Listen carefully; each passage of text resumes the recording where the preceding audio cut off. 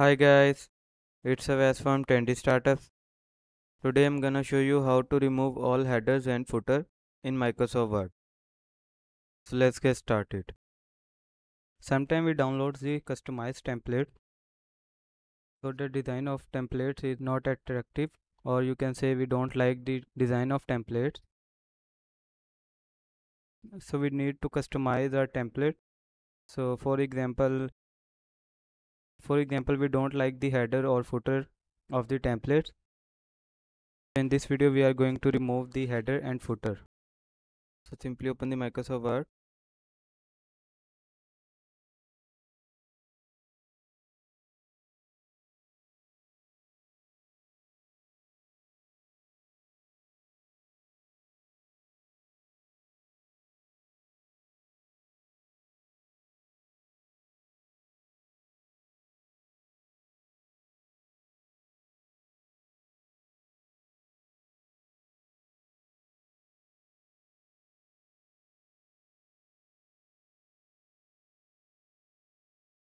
so I want to remove the header and footer of this document. So simply click on insert tab.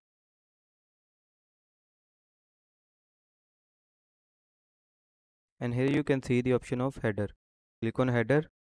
And here you can see the option of remove header.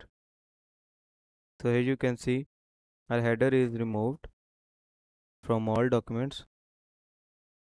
So to remove footer. You have to simply click on footer and click on remove footer. So here you can see our footer is also removed from all documents. So you can see we have removed the header and footer. So you can also remove the header and footer by following this process. I hope this information was helpful for you.